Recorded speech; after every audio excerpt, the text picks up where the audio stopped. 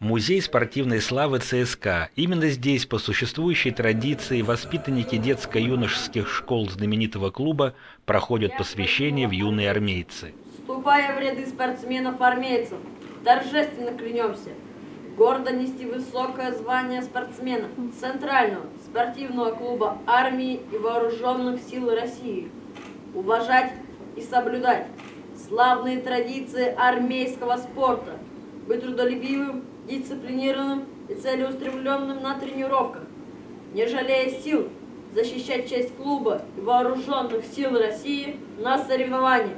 Клянемся! Клянемся! Сегодня в ряды большой дружной армейской семьи влились воспитанники специализированной детско-юношеской школы Олимпийского резерва Центрального спортивного клуба военно-морского флота.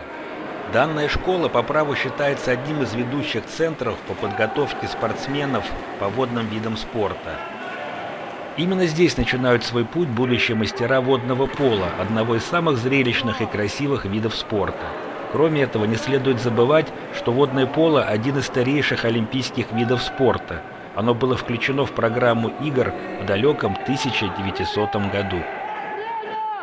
Школа работает с 60-х годов, школа имеет очень большие традиции, она имеет очень большие, будем так говорить, корни именно в этом бассейне. Бассейн ЦСКА Майфон родной считается бассейн, там, где целая плеяда олимпийских чемпионов взросла, добилась больших успехов.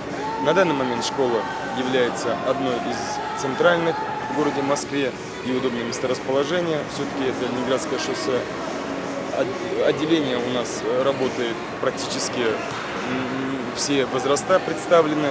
Вот сейчас прошел только, закончился шестой тур первенства России по водному полу среди старшей группы. К следующему году подготавливается новая группа молодых ребят, которая будет представлять уже школу на всероссийских соревнованиях. Черезов, ближе! Набор начинается традиционно в сентябре, первый месяц. Мы ждем практически всех мальчишек, девчонок, для того, чтобы они записались в школу нашу. У нас кроме отделения водного пола есть парус, у нас есть гребли.